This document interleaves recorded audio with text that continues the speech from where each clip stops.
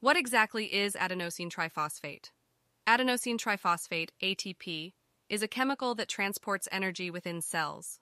It is the cell's primary energy currency, and it is produced as a byproduct of photophosphorylation, adding a phosphate group to a molecule using light energy, cellular respiration, and fermentation. ATP is used by all living organisms. It is employed in signal transduction pathways for cell communication and is integrated into deoxyribonucleic acid, DNA, during DNA synthesis, in addition to being used as an energy source.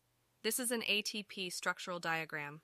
It is composed of three phosphate groups plus the molecule adenosine, which is composed of adenine and a ribose sugar.